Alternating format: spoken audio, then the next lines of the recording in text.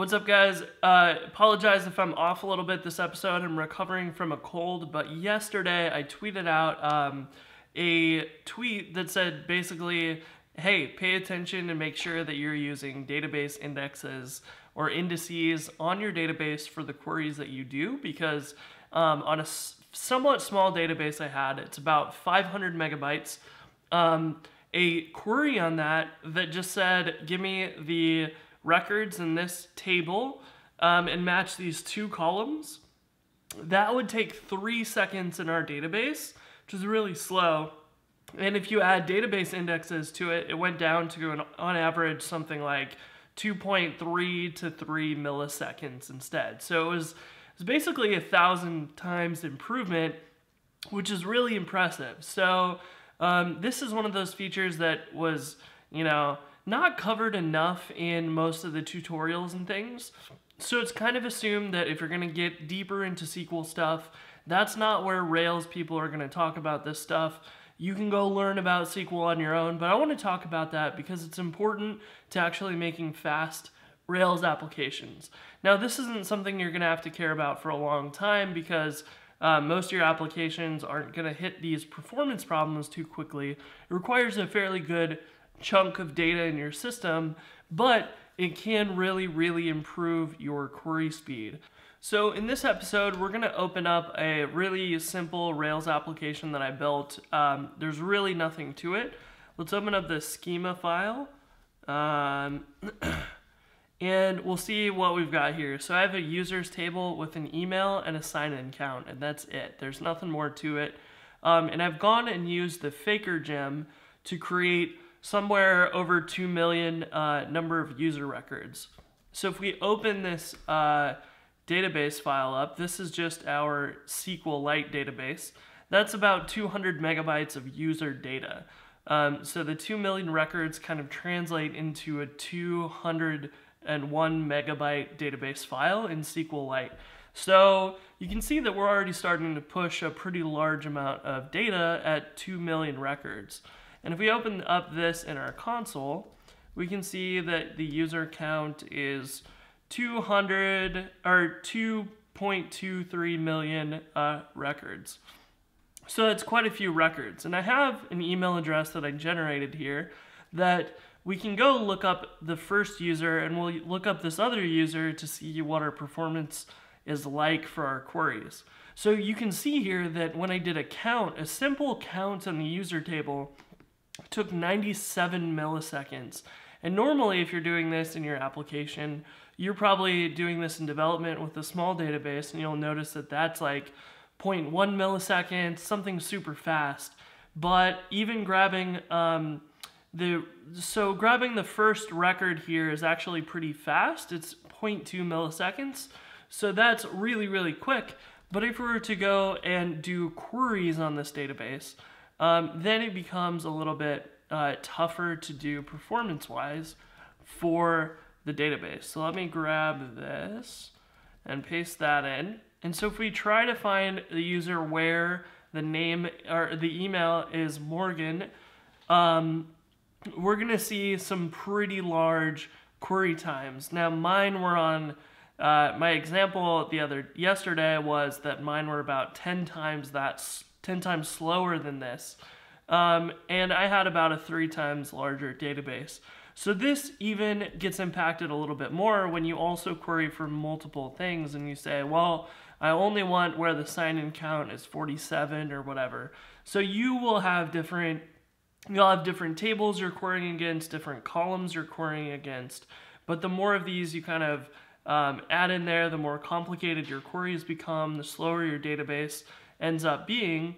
And indexes are really designed here to solve this problem. It shouldn't take you um, a third of a second in order to grab the users that match this email address. That's pretty slow and it's going to make for a very slow web application because you're probably going to be doing a handful of queries and if they're all taking a third of a second, your website is going to take at least a second to generate before it even gets sent back and forth to the user's browser, and that's unbelievably slow. So before we go implement uh, database indexes in our example, let me mention real quick that you're going to want to track your production SQL queries and monitor their performance when this becomes a problem. Number one, you can probably just look in your Rails logs.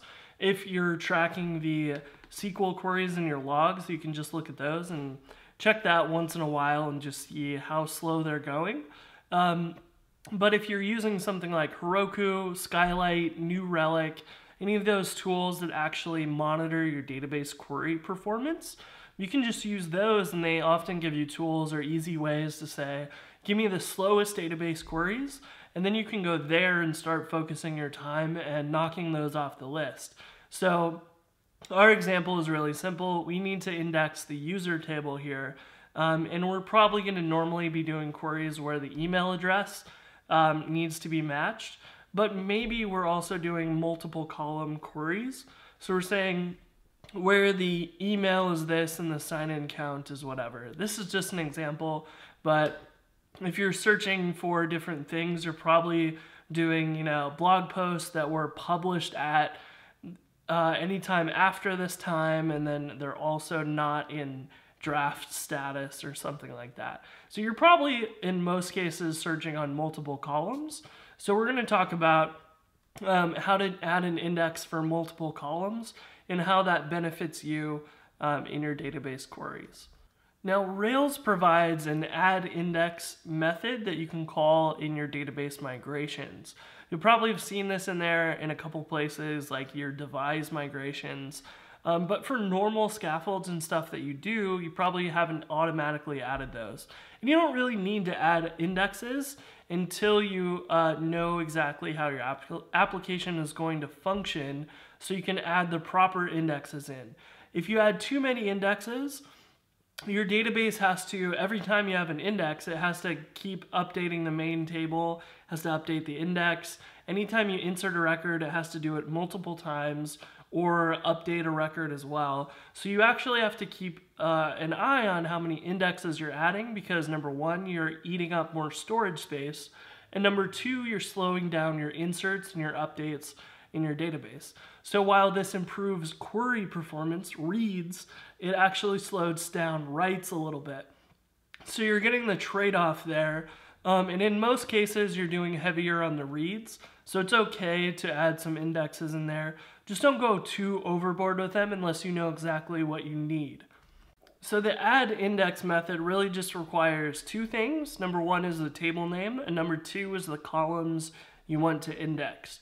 So if you're querying on a single field all the time, um, like an ID, in the database, that's automatically going to be uh, indexed. So the primary keys are automatically indexed for your records. But if you query on something like an email address because your users log in with their email, then you want to add an index for, say, the users table and the email column. Or if you're using usernames to log in, you would want to index the username column. Or if you allow both, you might want to uh, add separate indexes for each one so you could query those as well. Now, if there's cases where you actually query for two columns at the same time and you say where their email address is this and active is true, then you can actually create a index that includes both of those. And in the second, uh, second parameter, you would pass in an array of the multiple column names. So this would create an index on two columns and it would allow you to make those queries faster. So in our example here, if we did the query on the email and sign in count all the time, then we could actually say, let's index both of these together, and then that will make that query much, much faster. So this example here also has the unique uh, option turned on, and that basically is gonna say, you know, if you applied this to your user model or table and you had the email column is unique, then it would allow you to never be able to insert the same email into the database multiple times. So if you ever tried to sign up twice with the same with an email address that was already in the database, it's going to give you an error um, on a database level. And then you can also do the Rails um, validations for uniqueness on top of that. So you can enforce your data on validations inside the database, um, they're just a little bit more simple in your database than they would be in Rails. But it's always good to be able to do that when you know for sure that you never ever want um, duplicate, for example, emails in your users table. So let's actually jump back to our application and run Rails generate migration and we'll add index to user uh, to users. And I'm gonna just go and modify this migration myself. Um, so what we'll do is we'll open up that migration and here we'll just say add index to the users table and we're going to uh, optimize this for the case of querying for just the email and for the email and the sign-in count. And one of the cool ways that this works um, is that you on your database level, it indexes them starting leftmost first. So in this example, if you were to query just on the email address, this index that does two columns will actually improve the performance of just querying for the email include and it will also improve the uh, performance when you say where email is this and sign in count is that. So it will improve both cases. Um, but it wouldn't if you ever queried based on purely the sign in count you would have to add a separate index for that. So the way that the database migrations really uh, improve things is when you make sure that they all match or just the first you know the first ones are are matches. Um, we're not going to make this a unique uh, thing or anything. Um, we're just going to add an index to this. Um, and then you could also add a separate index just on email that was unique as true if you'd like to go do that. So if we run rake db:migrate here this will take a while because what it's doing is it's going through all of the existing data in our database and indexing all of that. Now this is pretty quick because uh, we only have like 2 million records, so but it did take 2.8 seconds to index all of those columns. So earlier when we created this database with the 2 million records, we had exactly 201 megabytes of storage space used. And after adding this index, we actually have 279 megabytes of storage used, which means that this index, this one index, uh, took up an extra 78 megabytes of space just to store the index for the email addresses and the sign-in count. So that's quite a bit of extra space required for that. We almost uh, we almost had a 50% increase in storage size of our database just by adding that one index which is quite a lot. But let's open up our Rails console now and let's grab this query that we had before. So we'll grab, um, we'll grab this longer one and we'll paste that in, but we'll do just on email first and see how fast that went. So this time we got back the record in 0.3 milliseconds compared to our 344 milliseconds uh, query before the index. That's a huge improvement. And if we go paste in the full query, um, we'll do this again. This time, this one did it in 0.4 seconds. And of course, it's a little bit more complicated because it actually needs to um, check the sign-in count as well. Um, and this is just a massive, massive improvement for both of those queries by adding that index. Now I want to encourage you to actually go ahead and benchmark your code before and after you do these things, um, just so that you know for sure that it's doing what you think it's doing. In our case, we can definitely see that um, just by running our two examples, but uh, you want to actually run this, you know, a thousand times or 10,000 times to make sure that you have a statistically significant speed improvement.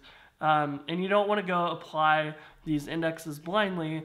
And it definitely helps to have a tool like um, your production logs or New Relic or Skylight or whatever you want to use to see the performance of the queries in production and then kind of go through those and figure out these seem to be called the most often and they're generally the slowest.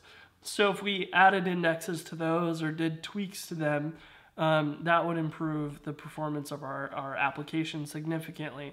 So use the tools to your disposal, but don't go adding indexes all over the place because you'll hugely increase the size of your database for no benefit if you're not actually making queries that take advantage of those indexes. So that's it for this episode. Just a rough introduction to indexes, what they are, how to apply them, and how to think about using them, um, and just monitoring your production application for performance uh, improvements on indexes.